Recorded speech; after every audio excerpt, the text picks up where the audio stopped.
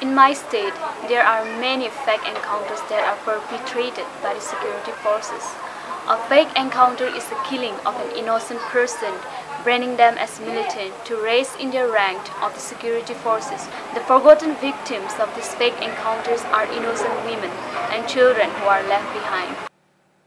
Uh, on 22 January 2009, my husband went out on his scooter with his local friend and on the road, uh, some of the Manipur police commando personnel arrested him and they brought him to the national highway number 39 and they killed there on, uh, at around 5 p.m.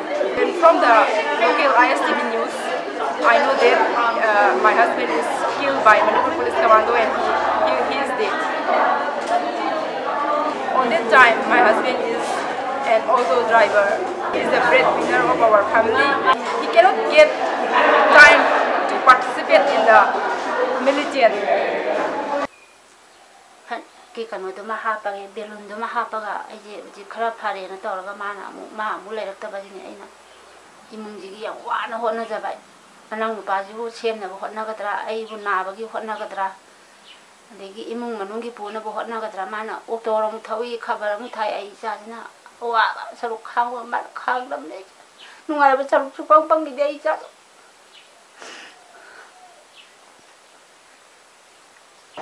I'll become paralyzed due to mental trauma. Till now also my left hand side is so weak. I cannot do any strong work.